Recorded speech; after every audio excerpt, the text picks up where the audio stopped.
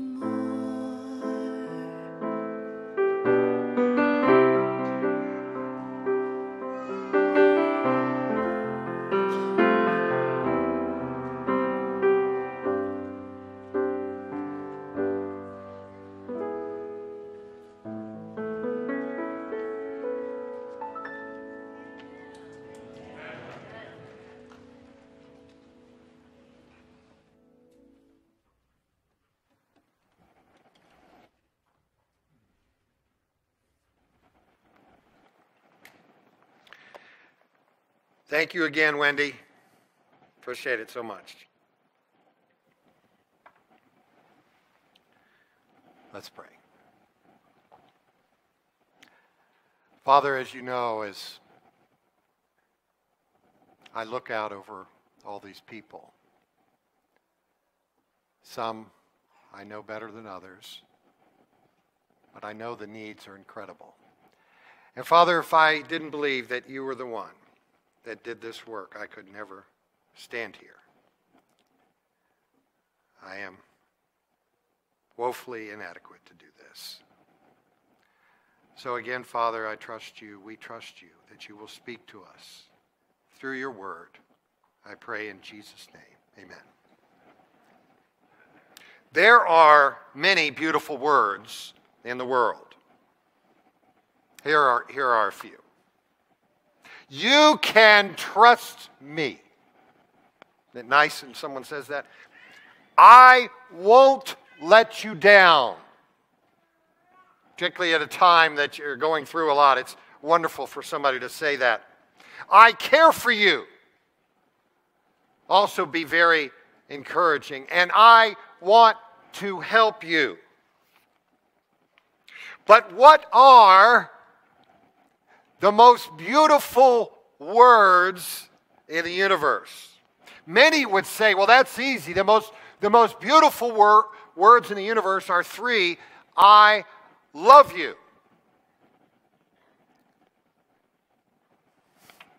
But are those? Those are beautiful words, no question. But are those the most beautiful words? And although I've, I've uh, talked about several phrases, are any of those the most beautiful words in the universe? I would say no. And I'll tell you why in the next few minutes. See if you agree with me at the end. Let's turn to Matthew 11 and start in verse 28.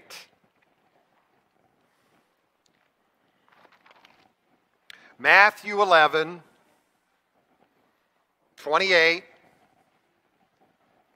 famous passage. Come to me. You know, I, I usually read out of the New King James, but the King James is just so beautiful sometimes, isn't it? It really is. Come unto me sounds better. But anyway, come to me, all who are, all you who labor and are heavy laden, and I will give you rest. Take my yoke upon you and learn from me.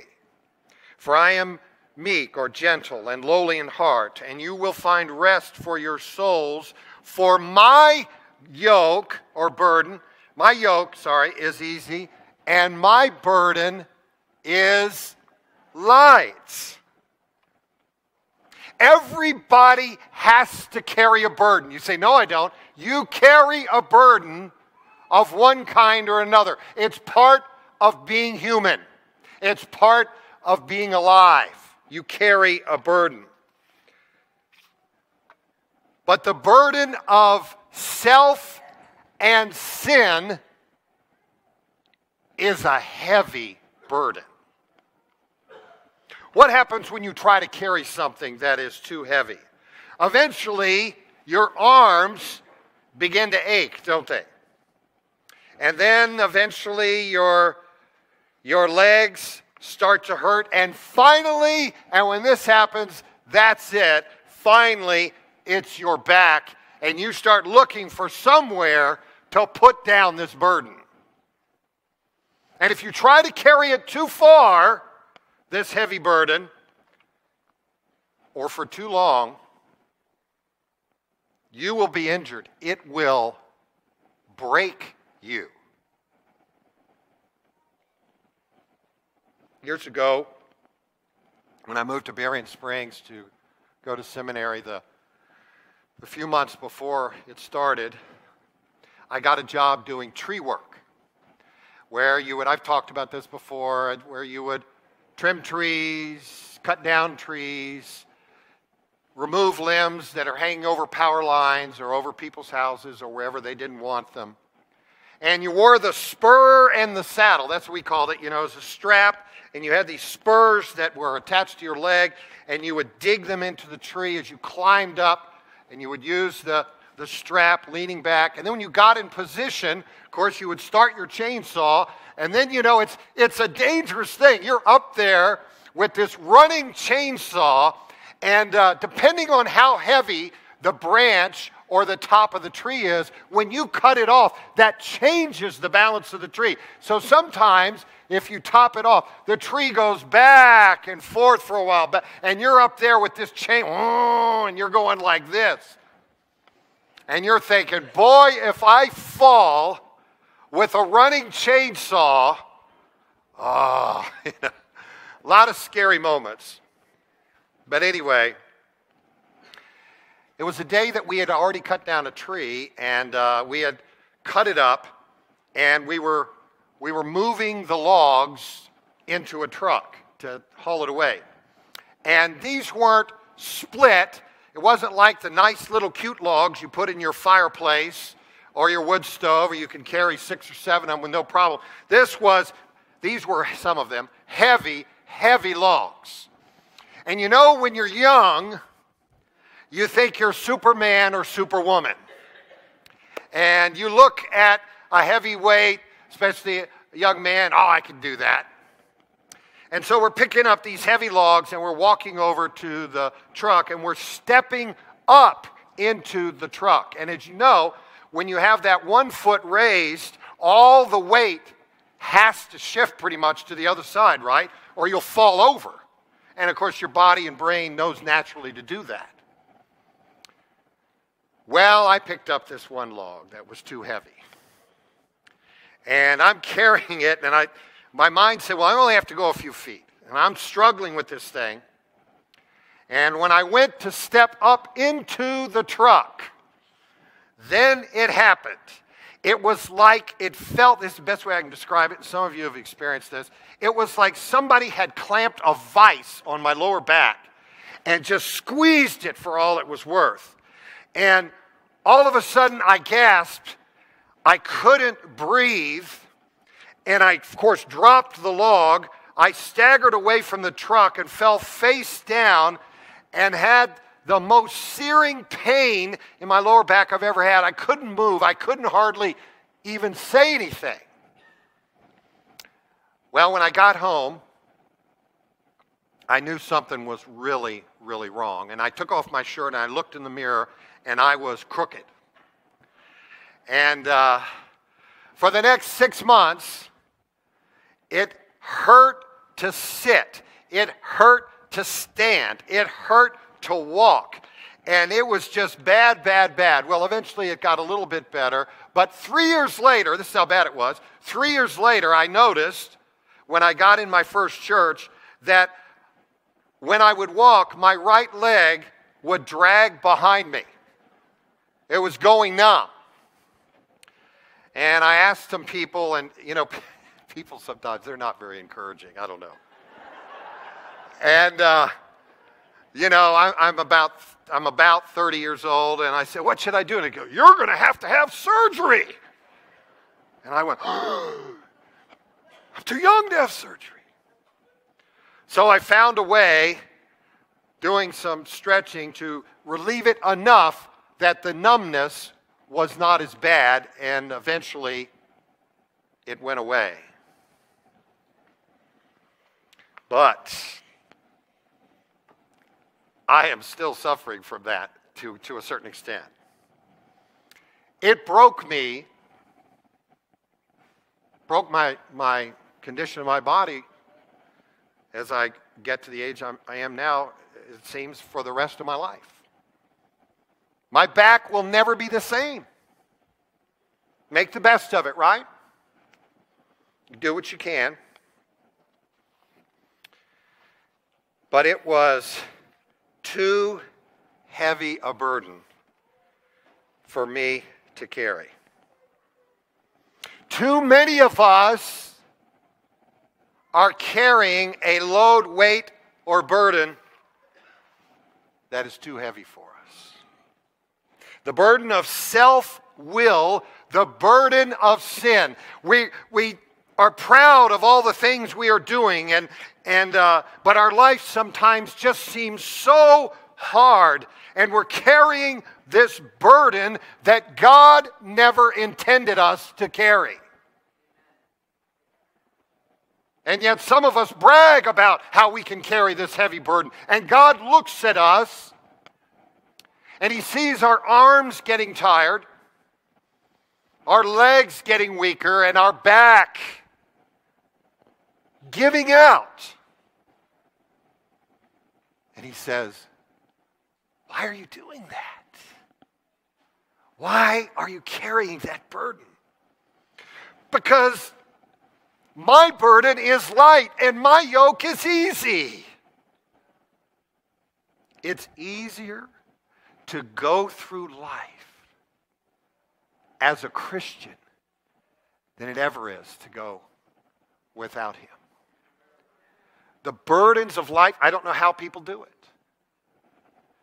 But some of us, even as Seventh day Adventist Christians, sometimes we are not, maybe, maybe more than sometimes, we are not carrying the burden of Jesus, the light, easy one. Those are his words, aren't they?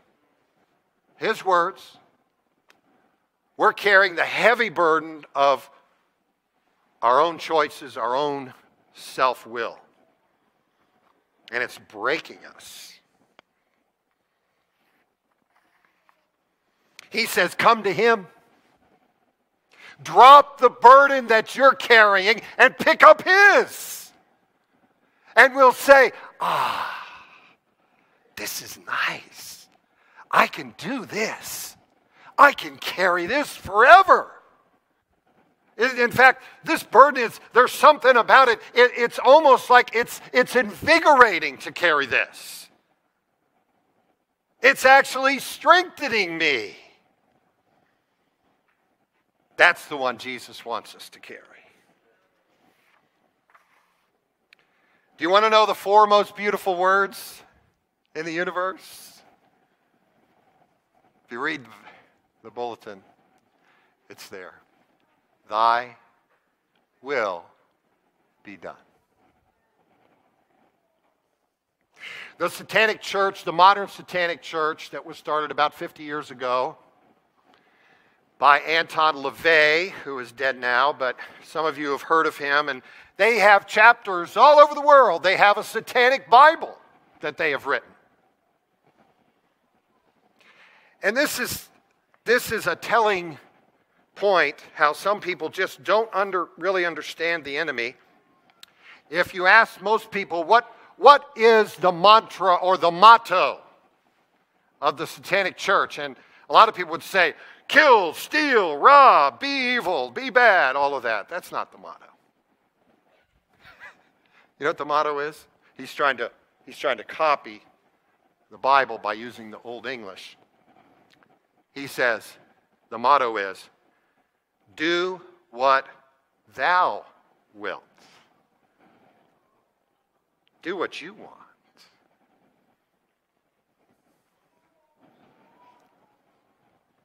Let's go to the well known story, Genesis 3.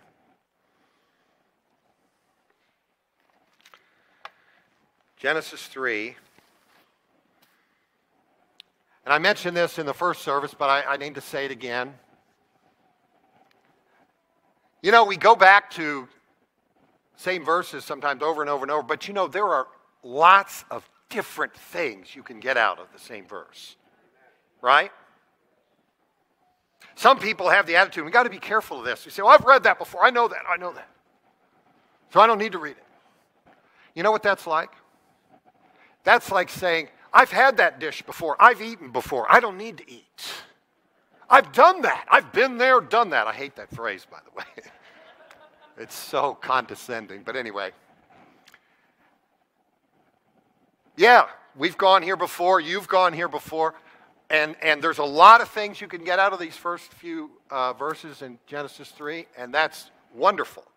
I want to focus on one. Genesis 3, now the serpent, verse 1, was more cunning than any beast of the field. And of course, we know this is the devil, which the Lord God had made. And he said to the woman, Has God indeed said, You shall not eat of every tree of the garden? And the woman said to the serpent, We may eat the fruit of the trees of the garden, but of the fruit of the tree which is in the midst of the garden, God has said, You shall not eat it, nor shall you touch it, lest you die.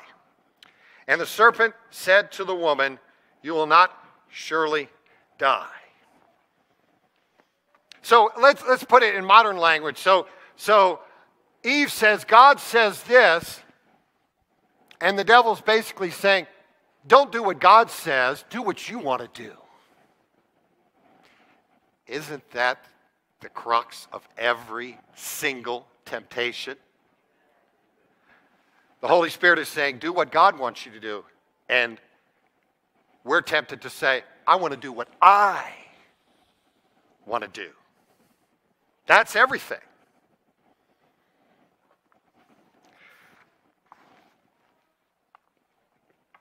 Why did I say, Thy will be done, are the most beautiful words in the universe? What if Eve when the serpent talked to her, what if she, instead of doing what she did, what if she said, Nope, serpent, thy will be done? Where would we be today? What if Lucifer, in his hour of temptation in heaven, had said, instead of what he did say, Lord, Thy will be done. Oh. Now, some people say, well, we, we never would have seen the love of God. We never would have this and that. Yeah, but, but yes, yes, that's, that's true. Those are all wonderful things. But think of all of the millions eternally lost. So if Eve had said, Thy will be done, if Lucifer had said, Thy will be done, how different everything would be.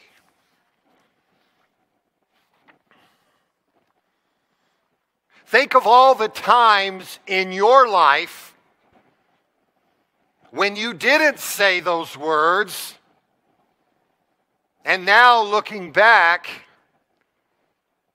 you realize how much better off you would have been if you had said those words. You know, that time you're alone, tempted to have these evil, dark thoughts, selfish thoughts, whatever it is.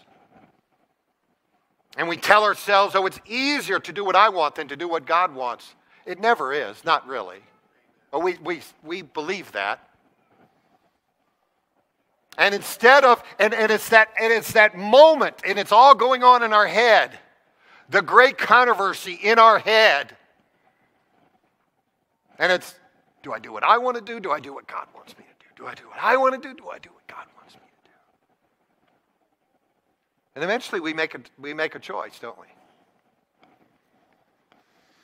And if you're a Christian, and I assume if you're sitting here, you're a Christian, and we look back on those times, and they may not be very long ago. They may be they may be yesterday.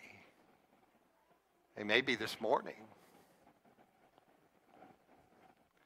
And just going on percentages, it could be two minutes ago. But we have those choices and we, we make our choice. Thy will be done or my will be done. And think about Jesus in the Garden of Gethsemane. What if he had not said those words? He's there at his, at his, his most difficult hour of his life. And he's struggling, and the Bible says he's sweating drops of blood. And he said to the disciples, My soul is exceedingly sorrowful, even to death. Now that's depression. We're told in the spirit of prophecy that, that after he had made the decision that if an angel had not come and strengthened him, he would have died on the spot.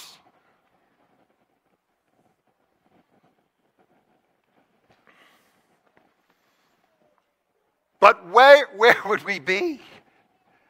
If Jesus, in, in, in realizing that he was going to be identified with sin, and the devil saying to him, and the devil was right next to him.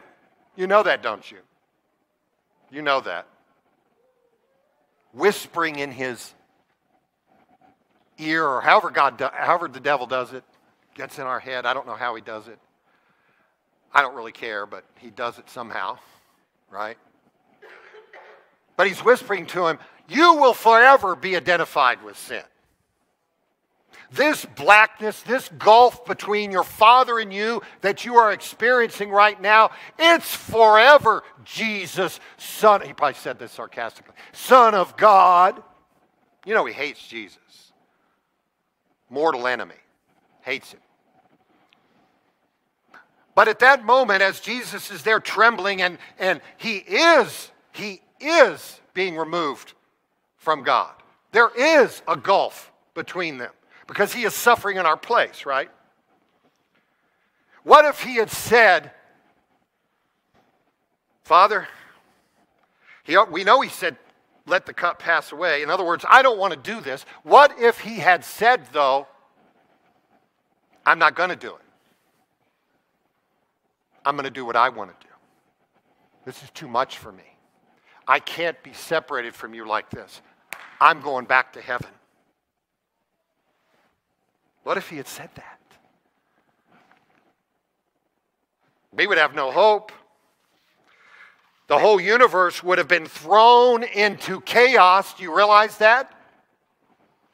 You say, well, why would that be? Because there would have been doubt among the angels and the unfallen worlds in God's love. Oh, he says he loves us, but he will only go so far. Everything would have been different. Lucifer, to a certain extent, would have been proven right. Think how terrible that is. I can't think of anything worse than that. But Jesus did say those words. The most beautiful words that were ever uttered.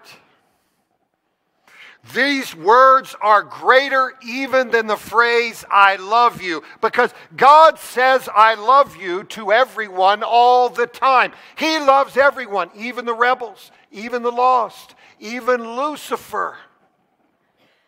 But unless the person hearing those words learns to say in response, Thy will be done, they are lost. Are they not? God still loves them. People, I hope nobody here thinks that the ones that are lost, God doesn't love them. That's not Bible theology, that's human theology. God loves them all. But Jesus did say those words, praise God. You and I need to learn to say those words more than we do. Saying those words makes our burden so much lighter and easier. Rather than saying, as we do, my will be done. Isn't it funny? We always think it's better. Well, I say always, often. How about that? We often think it's better to do it our way. You know? And sometimes in the short run, it appears we were right, but never in the long run, does it? It's always something we regret later. Nobody at their deathbed would ever say, speaking, I'm speaking as a father, husband, I'm glad I played golf every weekend. I'm glad I didn't spend much time with my kids. Who would say that on their deathbed? Nobody would ever say that. I'm glad I worked those long hours and my wife and my relationship grew cold. I'm glad that I barely know my kids and what's going on in my life. I'm glad that they hardly talk to me today as adults. And, and if I had my life to do over again, I'd do it the same. Nobody says that. If they do, they're crazy.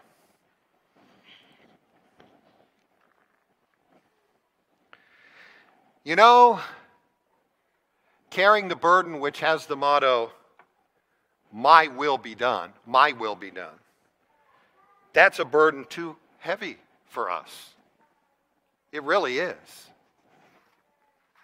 Because in the end, it will break us.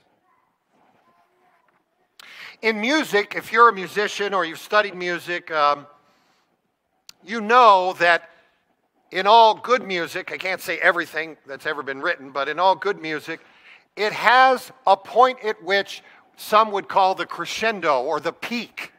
And the early part of the song is building towards that peak, isn't it? And then when you reach it, it's hopefully, if it's a good song and it resonates with you, it, you get a, a rush of feeling as it gets to that peak. And then after that, it winds down. And that peak could be in the exact middle. It could be, it could be, it could be toward the beginning, although not very often. And often it's near the end of the song.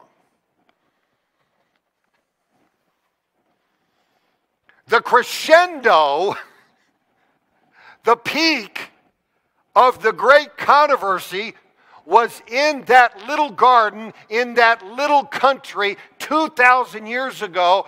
Before dawn, we call it the Garden of Gethsemane in the spring of 31 AD, where Jesus was alone clutching the ground. That was the crescendo the peak of the great controversy.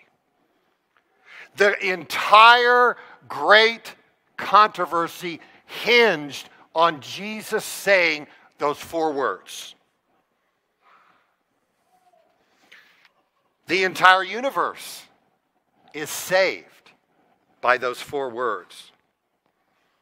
Without them, if he had said, My will be done, and gone back to heaven, the universe and everyone in it would have fallen off the precipice. Those four words are the most important, powerful, beautiful words ever uttered. And you can see Jesus as he's there in that moment, and the whole world is, is listening. What's he going to say? The whole universe, that is. And it, amazing as it sounds, most of the world that early morning had no idea anything significant was going on, did they? The disciples didn't even. They fell asleep. Okay, we'll pray for you, but I'm so tired. I'm not, I'm not saying I would do any better than they are, than they did. Not saying that.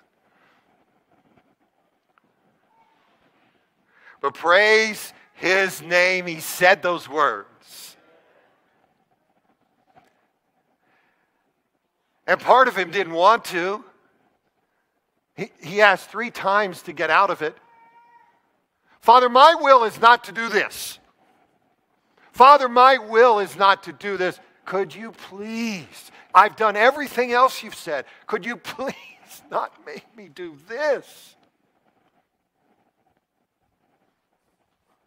But finally, he said those words. There's a song, and I don't, I don't have it uh, for them to play, and maybe I should have, but anyway, it's, it's a song on the radio, and I forget the artist's name. It's, it's a lady. But the, the, the main phrase of it is, Thy will be done. Some of you may have heard, Thy will be done Thy will be done.